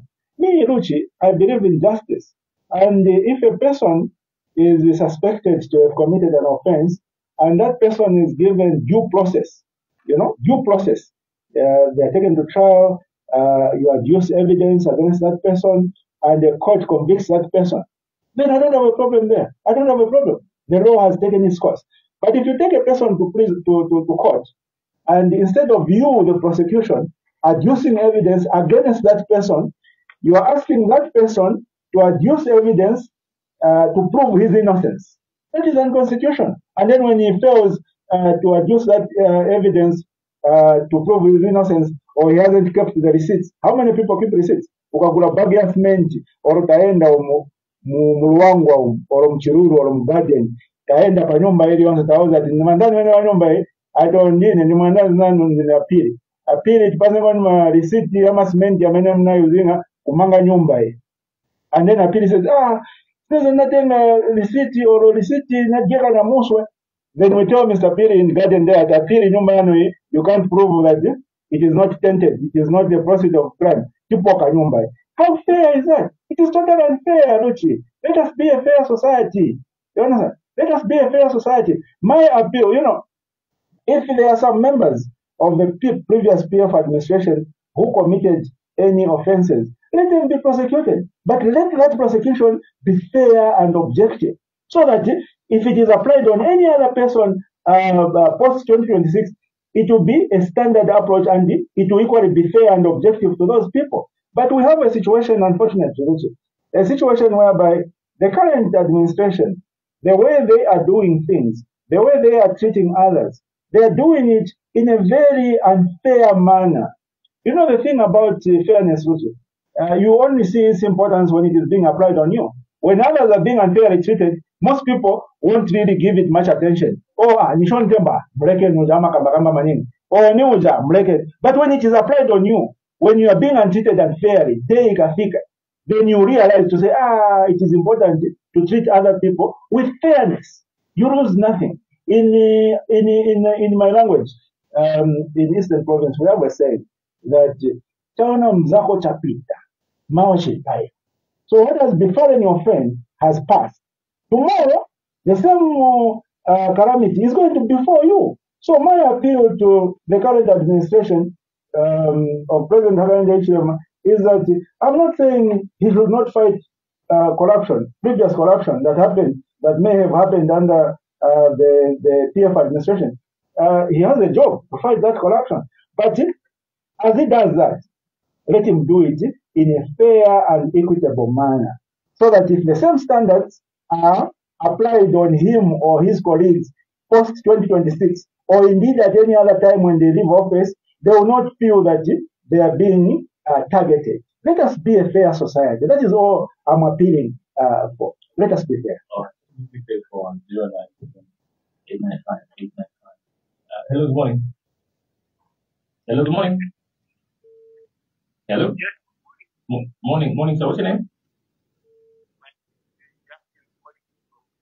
já se demonstrava sua realização.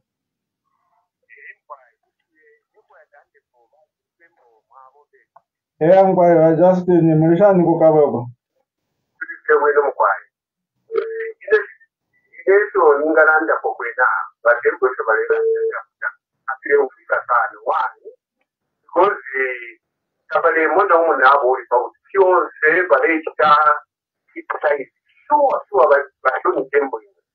Normalmente acontece nella parte probabilmente keniesi, dove un ponte che vede, viene a vedere la moeda.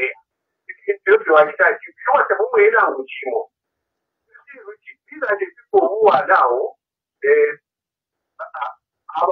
bare ta sha ni kwari bare ta promote ko na fasoni because you want to be pusha kuma da barun gubari ne pusha na mu kika diyari kuma ku ba shi mu yau ko ko ne ko babu ko ndeko yanga tenalekani kete tuseni não twalisi ufuatu alisi kuonana pasiki ndo malelo maleka yatoa awe valungu é mukuta valungu vali tini yezi kwaye nababomba ivyo o vatechechezo valebomba kwechechezi kila achieve many things students teniyo valeka nabo ukweva that is impossible education is there ama mainly vati teniyo sehuu nabo waisula wanda shi wannan ni wa rawa shi wani sai ga bai shi ba zai san da ne kana yake yake abu você está kuma nan ciwon sai shi wa to ba ta ko ba ko mun ko ta da mu awe da Você está ku mu ke sa ku shi ta do ku ko shi kuma su je ko ya shi sai.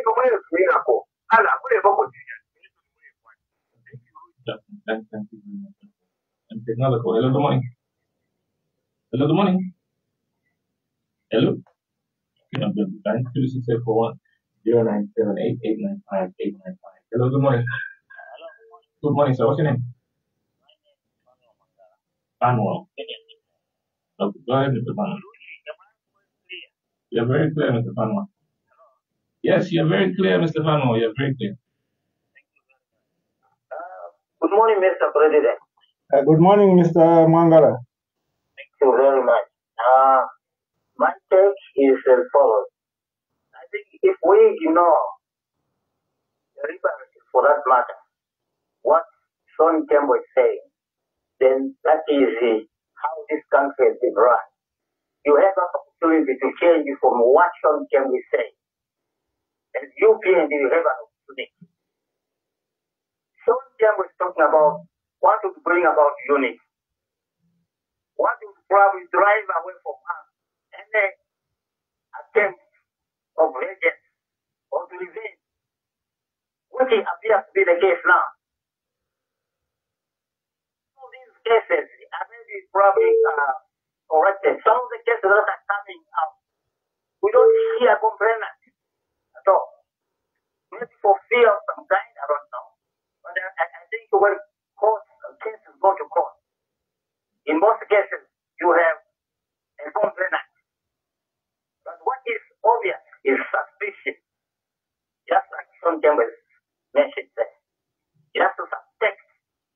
We are being very, very unfair to ourselves. As a country, we are being unfair. Unless we follow strictly what Sean Tembo said, we will continue for 100 years taking measures against each other. It's no good treating your fellow citizens in the manner that we're being treated by the European Union. Let us change for the better. And the change I'm seeing, the obvious change, is what Sean Tembo said. Thank you. Fano. Mr. Fano, sorry, before you go. Hello? Okay, I'm going to Um, 264 Hello, good morning. Okay, thank you. How are you, sir? What's your name? Go ahead. Uh, I'm very well. How are you, sir?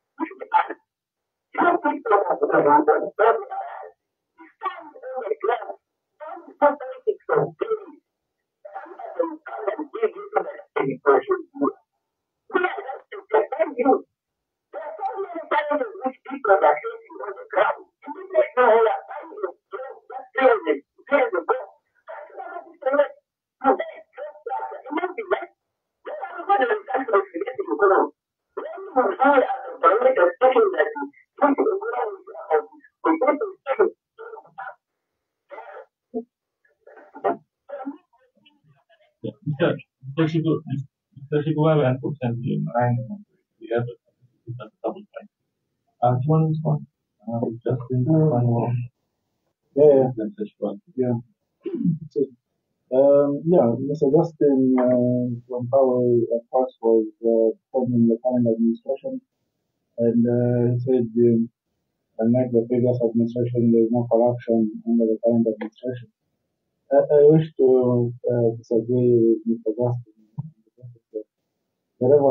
corruption under the current administration are actually very high. Um, when you look at the Financial Intelligence Center report, 20 report for 2022, you note that uh, in 2023, more than $3 billion, which is uh, converted into kwacha, amounts to uh, close to uh, 90 billion kwacha, was externalized from Zambia. That's a lot of money. Zambia money. And uh, up to now, we haven't received any statement to explain how that externalization of that huge amount uh, took place or who perpetrated it. We haven't received anything from government. And yet we have the chief government spokesperson, Honorable Cornelius Mweetwa, addressing the nation almost every other day. But he talks about other issues. He's attacking our Tonse Alliance presidential candidate, uh, President Chagwa Lungu on a daily basis. But he's not explaining who stole that 90 billion kwacha in 2023 from them. Because from my standpoint, Richard, the only people who have access to that kind of money are the people in government. You understand? Those affiliated with and close to President Hakainde Hichilema. So if that 90 billion was stolen, as reported by the Financial Intelligence Center in 2023 alone, then President Hakainde Hichilema should know who stole it. You understand? And yet he's not saying anything. So to us, that, those are the high levels of corruption taking place under the UPND administration. Also, we had the incidents uh, which were reported in the Auditor General report uh, to say that uh, there is a company which uh, was formed, and three days later, that company was awarded a 31 million kwacha uh, uh, uh, contract by the Food Reserve Agency. That is corruption. How can you have a company, no track record, no nothing, formed three days after forming, it is awarded a multi-million contract. So the levels of corruption, the levels of corruption are very high under the current administration. Um, I will move on to Mr. Mangara. Uh, Mr. Mangara agrees with uh, our standpoint to say, as a nation, let us be fair to one another. Look, when you look at the background of Zambia, uh, various administrations have been, and various heads of state have been fighting battles against one another. When uh, KK left office in 1991, my expectation was that uh, would build on what KK had done. You understand? And yet, uh, there was too much personal fights between KK and FTJ to the extent that uh, the new president wanted to erase the entire legacy of the previous president, both the good things and the bad things that were done. You know, any president will do both good and uh, bad things to the, uh, for the nation. So you as a new president, your job is to build on the good things and then to collect the wrong things. But if you, you are a new president, you come into office and you hold so much hatred for your predecessor, then uh, you'll be advancing a personal agenda, which will be to erase completely the legacy of the previous president, whether uh, they did some good things or bad things. We can't build this country with that mentality. And my expectation and my hope was that uh, with all the lessons learned in the past, when President Narendra Hichilema ascended into office, he would be a statesman. He would focus on building um, uh, Zambia as a nation and not focus on um, uh, personal petty fights against the previous administration. But that was not to be. There was that forfeiture of uh, uh, suspected uh, proceeds of crime act. That uh, act was there, um, but uh, it was a 40 act. It's a 40 act. And instead of amending it, uh, our colleagues in the UPND saw that uh, act as uh, a perfect weapon to use against members of the former regime, the Patriotic Front. That is not, not, not, not that, it was enacted in 2010 by the MMD. Yes, yes, Yeah. Yes, um, look at that. yes, yes. But they never, That not. the, the PF administration never used that law. But that You know that doesn't they are- make it wrong. I'm just, I'm just asking. You, you know, Luchi, that there are a lot of um, uh, uh, retrogressive laws in this country. A lot of them. A lot of them. So, um, Who is charged? the only time, the only time that we, it's because we don't have a proper system to review previous laws and uh, abolish those laws which are no longer uh, uh, good for the nation and enact new laws. Our National Assembly, most of the time, they sleep on the job. Not only under the current administration. Actually, that's the word. That's Yes, what I was yes, looking they for. I was simply- looking for you Yes, not only, not only, not, one of the not, yes, yes, not only under the current administration, but even previous administration. And also, they don't pay adequate attention to the laws that they actually pass. So we have those I won't challenges.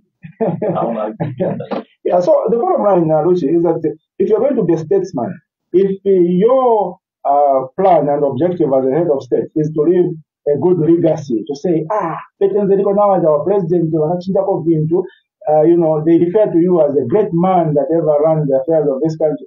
Then when you see a law such as that forfeiture of uh, proceeds of suspected whatever, you need to see that this is a retrogressive law and you need to abolish it.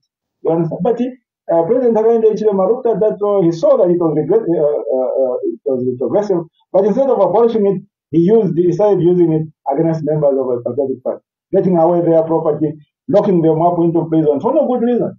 That is not, those are not the actions of a statesman. And my appeal to uh, the president is that, you know, he needs to be a statesman. You understand? Let us see, reduce the appetite for revenge against one another. Then uh, we had uh, Mr. Chkwale, of course, is also bemoaning the issues of uh, high levels of poverty across the nation. That is shared across most. Um, seven eight eight nine seven. Good morning. Good morning, sir. What's your name? Felix. Good. Can agree.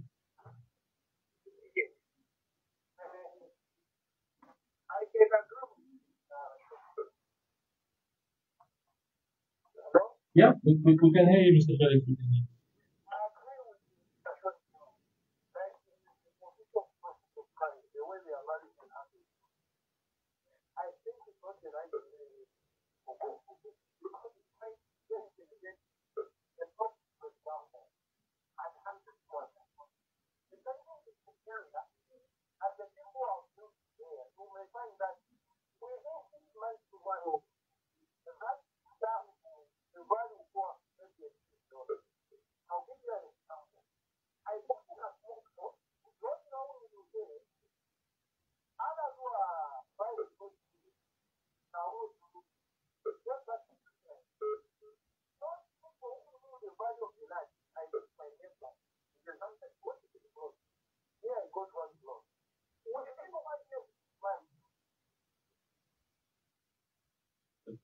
Hello, Mr. Felix. Um, let's try another line. Hello, good morning. Hello, good morning. Good morning, morning, sir. What's your name? Yes, this is Phineas. What's your name, sir? You're live on radio. What's your name? You're live on radio. What's your name? Insan Sama. Go ahead. Uh, uh, good morning, sir. Okay, ile contribution yangi depo okulanda kofe bake ba basonte mu balanda. You know, as a nation, we are planting a seed that will even affect the generation to come if we are not careful. The issue to do with revenge is growing and growing. I can tell you for the past government, I think we didn't see it much, not until now. We are seeing what we are seeing now, I can assure you, there is nothing like what they did. It's just about revenge, pure revenge.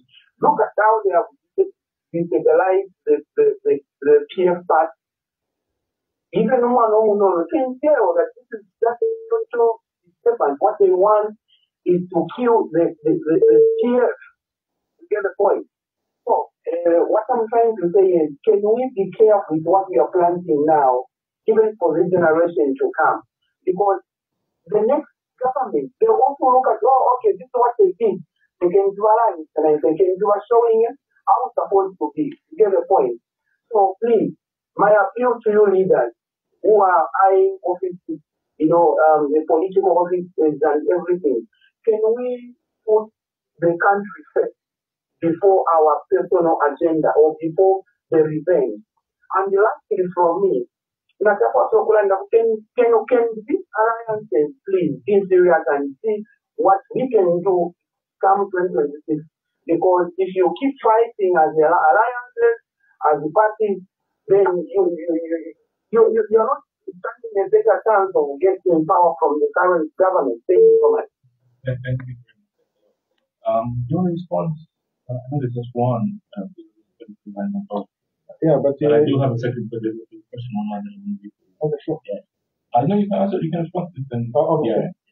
Uh, yeah, uh, Mr. Felix uh, Makumba said um, he agrees with the issue of uh, the approach taken by the courts uh, in you know, in fact, in prosecuting these corruption cases, where they compare the income which someone earned against the current market value of uh, property acquired, uh, uh, as opposed to comparing it with the cost of actually uh, putting up that uh, particular property at the time it was actually put up.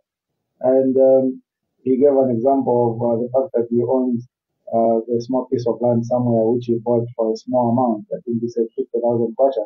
And uh, because of the developments around the area where his plot is, uh, his he was able to sell it for more than a million kwacha there after three years. And that was the market value. Um, you know, it re-echoes my earlier submission, which, uh, which again addresses the concern raised by Mr. Sama about the fact that as we execute these national duties when we are in government, we need to make sure that we put the national interest first and not our personal interest. Because when you talk about revenge, which is what is happening now, because in my view, Ruchi, uh, the reason that uh, uh, GBM is in prison today is not because he committed any criminal offense. It is because he disagreed with President Hakainde Hichilema and left the UPND. That is the reason why he's in prison today. And that is the reason why his property has been taken away from him. So if we are going to put our personal interests, our appetite for revenge, our appetite to show when we are in that position, when the people put us in that position of authority, we want to flex ourselves. We want to show everybody that I'm now the one with the power and Malach Mona. You feel my way. We are not going to make progress as a nation. And the key here is to make progress as a nation. So far, our poverty levels, you know, during the KK times, Zambia was a beacon of economic prosperity in the region. We had manufacturing companies, we had this and that. Everybody used to look at us in the region and say, ah, look at Zambia, look at Zambia. Right now, our um, income per capita, our GDP per capita is the lowest in the region, maybe only second to Mozambique. You understand? So let us grow our country. And we can do both. We can't be pursuing revenge, personal revenge, and also growing the nation. We can do both. You know, it, we can only do one thing at a time. So when we have a head of state who is uh, prioritizing, you know, uh, revenge and prioritizing persecution of his political opponents, the same head of state cannot at the same time be growing and developing the nation because you can only do one thing at a time. So let us develop our nation. That is my opinion. Here's a question from. How did uh, the Tonse Alliance plan on paying off uh, debt, uh, which their candidate borrowed during our beyond our capacity? Okay. So, um, uh, of course, we are not only talking about the debt that was accumulated by the Patriotic Front, but we are also talking about the debt that was accumulated by previous administrations, like the MMD, as well as the debt that is um, being accumulated right now by the current UPND administration. Uh, so when that, what's the name of that gentleman? Pesta. Pesta.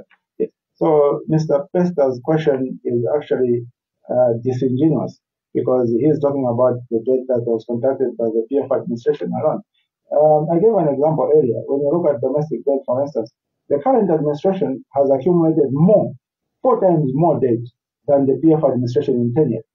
And the current administration has done it in three years. They have moved the uh, domestic debt from 78 billion to 232 billion. You understand? Whereas the PF moved the domestic debt in 10 years from about 38 billion to 78 billion. So they borrowed 40 billion. The current administration has borrowed more than 160 billion. So when Mr. Pesta wants to insinuate that the PF borrowed more uh, than the current administration, the numbers, the statistics don't support that narrative. That was a cheap narrative that was sellable at some point. It's no longer sellable now because the facts speak for themselves. But I don't think you sorry. How do you I know you, I know you picked on on the political Okay, side okay. it, but How do you intend to- yeah, yeah. question. Yeah, yeah. Because obviously, uh, you and I will agree on one thing Mhm. one of the reasons, or some of the reasons why we find ourselves in economic uh, challenges that a lot of people face is Mm. because obviously we have a Mhm. legacy debt Yes. uh, that we we can both. I think everyone agrees. So now, how how do We yeah, address how do we yeah, how do we uh, address that? Mm. And by addressing that, obviously, then you can kickstart the economy. Well, the way we intend to address that, especially if I will be lucky enough to be the Minister of Finance, I'm just. It's, it's important. To, it's, impo- it's important to have ambition. Yeah, um, how we intend to address that, uh, Rich, is that, um, first of all, when you look at the issue of debt across the board, whether it's foreign debt or domestic debt or domestic arrears, social debt, debt is relative to the size of the economy. You understand? So that is why uh, America owes slightly above 0.5 trillion dollars, but nobody talks about it because they've got a very big economy. And the reason we're talking about debt in Zambia is because our economy is very small. So one of the things we're going to do uh, under the Tonse Alliance government is that um, we're going to ensure that we grow the economy. Once we grow the economy, then our debt will no longer look like big. Will be small. Uh, of course, we are also going to ensure that um, uh, the incremental the incremental debt that we accumulate is minimized by ensuring that uh, we focus on uh, domestic revenue mobilization. Now, when you talk, there are two issues of this: growing the economy, and then the issue of domestic uh, uh, revenue mobilization or resource mobilization. I'll start with the last one. When you talk about domestic resource mobilization to fund your budget, the key thing is to make sure that uh, you're able to collect the tax that is due to the country. Yeah. And when you look at our economy, uh, the majority of Zambians uh, are quite poor. We can't contribute much tax. You understand? But uh, they are a number of big corporations, especially in the mining sector, who are required to contribute a significant amount of tax, tax revenue. And um, one of the things we'll do as a Alliance government is, first of all, to ensure that all these tax holidays that were given to uh, the mining sector are scrapped. And the mining uh, houses are compelled to pay their fair share of tax because we need that money. Once we have that money, uh, the big amounts which the mines are required to remit, then that will help us to make sure that our national budget is funded by domestic resources as much as possible, which will reduce the need for one of the reasons the UPND have accumulated a huge uh, domestic debt, that 160 billion over three years, is because of the tax holidays they gave to the mines, which has reduced the amount of tax revenue that ZRA is able to collect, and therefore they can't fund the budget. So how do they fund the budget? They go and send bonds to, to borrow from the economy through treasury bills and government bonds to try and fund the economy. But, uh, I mean, to try and fund the national budget. That is not sustainable. We are going to change that. Uh, so in terms of growing the economy, which is the second issue that I raised, um, if you're going to grow an economy, you need to make sure that uh, that uh, endeavor is driven by, by, the private sector. Uh, uh, only private sector driven economic growth is sustainable. And um, uh, so, what is the role of government to ensure that the economy is grown by the private sector? Your job as government is to create the necessary conducive atmosphere so that the private sector can be able to thrive. So what are the things that the private sector needs in order for them to grow and thrive? Um, number one, policy certainty, because you need to have stability for you to uh, uh, for the private sector to be able to grow the economy, and you need to uh, look at the key economic inputs, uh, uh, and those key economic inputs they need to have stability in terms of supply as well as stability in terms of pricing. So when you look at key economic inputs or key production inputs, you are talking about things such as um, uh, energy, you know, uh, fuel. Uh, do we have a stable supply of fuel? Do, do we have stable pricing for fuel? You are talking about electricity. Do we have a stable supply of electricity? Do we have a stable uh, pricing of electricity? Once you put those things in place, which the Alliance government is going to put in place, then you are helping to create a conducive environment for the private sector to thrive. But also other key variables like access to financing, uh, not just financing, but reasonably priced financing. Currently, our uh, the price of finance in this country is very high. We are looking at interest rates of about 30%. You can't grow an economy with those kinds of interest rates. So we are going to bring the interest rates down. And how we are going to do that is to make sure we minimize on domestic borrowing. When we minimize on domestic borrowing, uh, it means that the people, uh, the institutional uh, creditors like banks, you know, insurance companies, pension funds, who buy those treasury bills and government bonds, uh, if there are no treasury bills and government bonds to buy, it means that they are going to have excess cash, isn't it? And then when they have excess cash, they need to be able to lend that cash and so that it earns interest. So they will look around for other customers since they can't lend that cash to government. So they will even give you a call which uh, which bank you bank with. Uh, let's say you bank with um, uh, okay. let's say you bank with ABC Bank. I hope there's no bank called ABC. Yeah, so yeah. So so so they'll give you a call and say, uh, Luchi, would you like a loan? Then you're going to say, uh, well, I didn't think about it, but uh, how much can you give me? What's the maximum? Then business ideas will begin to run in your mind. And they tell you, uh, we can give you 2 million. And you say, at what rate?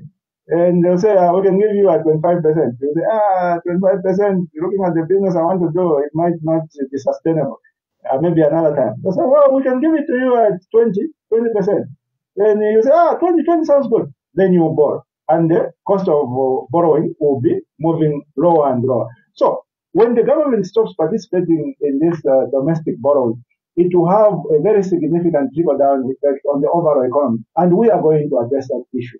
Also, the issue of regulation. you know, regulation, uh, the approach taken towards regulation, especially for small businesses, uh, people want to overregulate businesses. And they want to be unreasonable even in terms of the tariffs they impose on businesses. Look at the issue of, uh, let's rates. Uh, rates have become ridiculous. Licenses from these local councils have become ridiculous. You know, one time I was in Kazungula and I was looking on the wall. I was photographing something in a small shop, which was also uh, a bottle store. I was looking on the wall, then I saw this license. So I looked at the price paid there on the license. Uh, they had paid 7,500 kwacha. Then I looked around how much uh, uh, they were selling in that bottle store, which was also a photocopying shop. There was no significant, you know, activity taking place to justify that 7,500 license. So these uh, local authorities, the way they uh, uh, impose these tariffs on the on, on, businesses, it is suffocating them, and you find that uh, most of the businesses are not able to grow because they are being uh, uh, basically suffocated on the ground. So you need to run an economy and grow it. You need to address all those issues, you know, regulation, creating the necessary conducive environment, access to financing, and so on and so forth. And the Tonse Alliance government is going to address those issues. uh, let's see if we take uh, one last call on two six eight four and zero nine seven eight eight nine five eight nine five. Hello, good morning. Morning. I'm alright, thank you. How are you? So what's your name? Okay, I was uh, as brief as you can. Almost out of time. Uh, good morning, uh, Mr. Elvis. Uh, How is uh, the UPND? I understand you defected. Okay, good. Mm.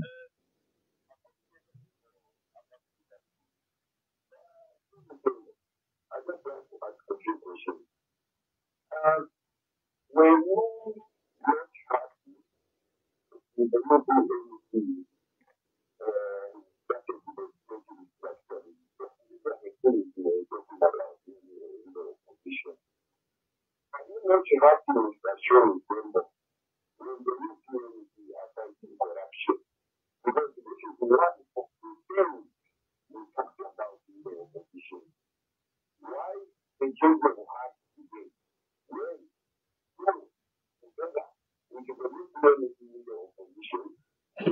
about fighting corruption, getting respect and these are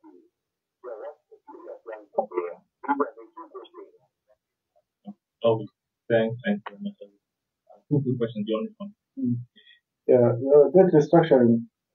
Um, you know, when you talk about debt restructuring, we are essentially uh, talking about the country being under debt distress and um, reshuffling the payment plan for that debt. You like in our case, uh, they extended the payment plan uh, so that the, the debt that is there can be paid over a longer period of time, um, although at a higher interest rate. But um, that only makes sense if you, uh, you are not uh, borrowing some more, or if you are borrowing at a small pace. Uh, debt restructuring doesn't make sense in the current uh, scenario whereby the current government is, has borrowed even more than the debt that they restructured. So, so that was a senseless activity in my view. It does not add any value to the overall well-being of the nation. Uh, coming to the issue of uh, fighting corruption, you know, like I said earlier, uh, I personally support the fight against corruption. And um, uh, my submission is that that fight, as it is being done, it should be done in a fair and equitable manner.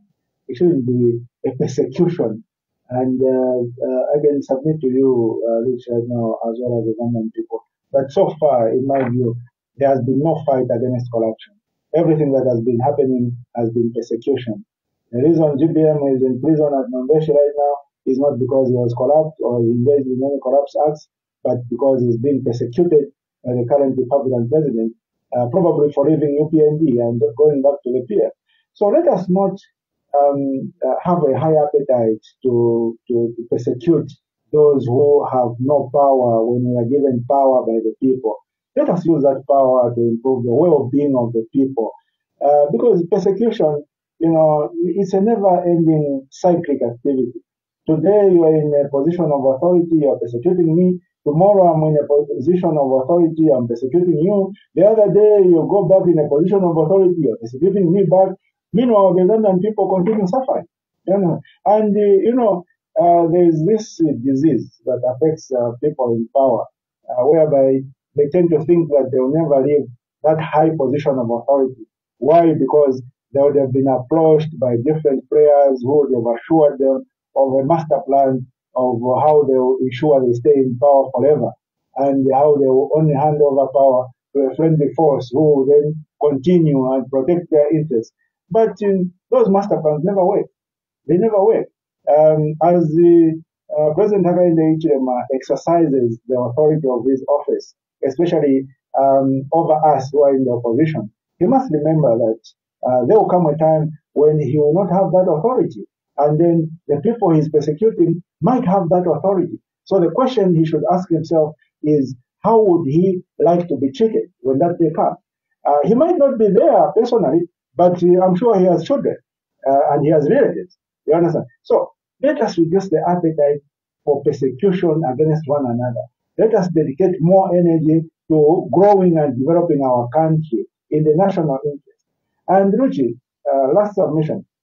When you look at uh, our country, you find that uh, the number of people who are educated are quite few.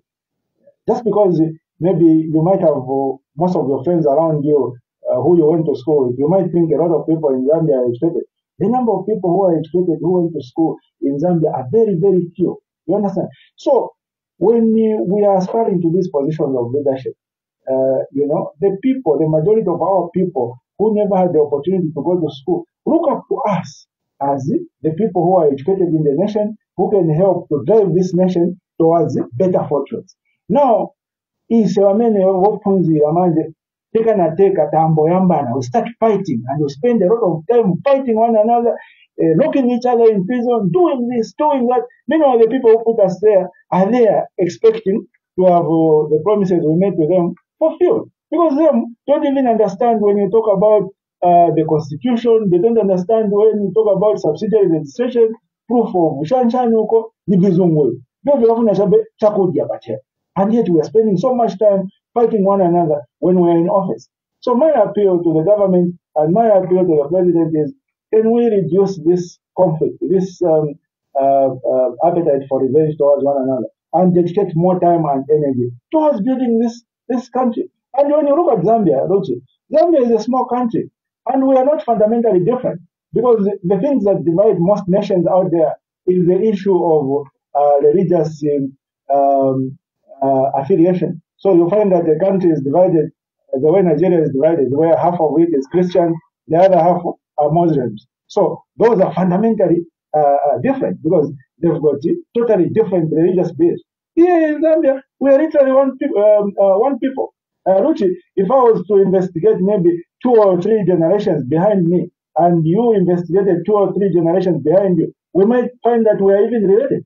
You understand? So this uh, apathy, the way we deal with each other with so much hatred, with so much bitterness, in my view, is totally unnecessary. Let us embrace one another as brothers and sisters and help to build this country. That's my submission.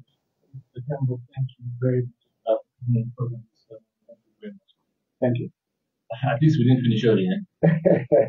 so Mr. Tembo went to great lengths um, this morning making the making a particular argument, um, and I think your closing submission is one of interest to me. Because as you correctly said that there are a lot of people, uh, we, a lot of people depend on this, on on on, on, on us. Uh, provide them direction.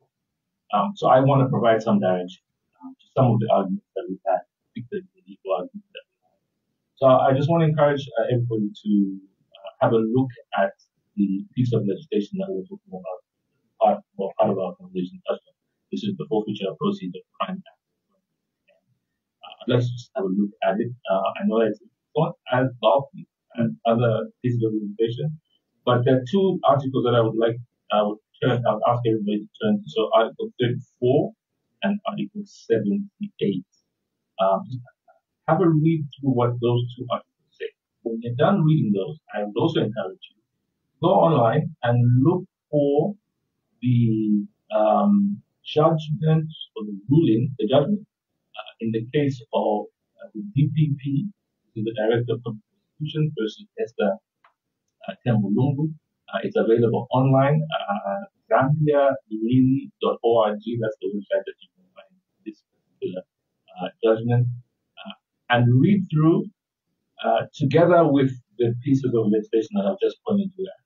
Uh, I think that And the constitution, and the constitution as well. So, the, uh, interestingly, um, in the judgment, they make reference to a particular piece of The the constitution. constitution that you reference to. So the burden of proof is on the accuser and not the accused. Eh? Yes. But Uh, they also make uh, a further point that I think people should read Yeah, sure. Rather than hearing it from you or me, Mm. I think it's best if you read it yourself, and I think that might help you understand some of Mr. Tembo's arguments and a lot of my arguments uh, on this particular issue.